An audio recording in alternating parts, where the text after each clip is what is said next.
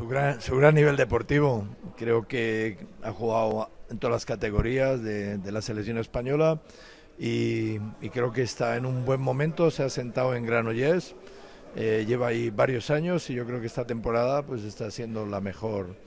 eh, temporada de su vida, el otro año ya lo fue, es un jugador joven y seguro que cada año lo hará mejor. Sí, sí, entrené a su padre y bueno, muchas anécdotas, pero para mí algo muy, muy emotivo, el, poder entrenar al padre y al hijo, aparte que, que, yo le vi sin barba recién nacido, que no tenía esa barba y estaba todo arrugado. Y, bueno, eh, con el padre pues eh, cuando estaba en Leganés, eh, momentos también muy especiales, de esos para recordar toda la vida. Y ahora pues que Juan esté en la selección pues muy especial y, y una gran alegría para, para, mí. Y sobre todo pues contento de que toda la familia de Juan a la que conozco mucho y, y form han formado parte de mi vida yo de las suyas pues seguro que están disfrutando y me alegro de que puedan disfrutar de que los dos estemos juntos eh, nada menos que en la selección nacional de balonmano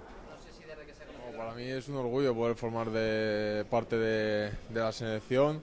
Eh, un orgullo poder formar parte de este, de este gran grupo que a, a, muchos de ellos ya los conocía, pero a otros no tenía el placer de poder conocerlos. Y, y nada, un orgullo que, que, pues un poco igual que,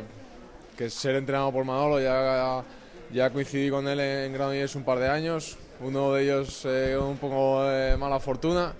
pero, pero bueno, poder estar a las órdenes suyas eh, es un placer y un orgullo. Se me olvidaba, se me olvidaba que los dos somos de Leganés, venimos de Leganés.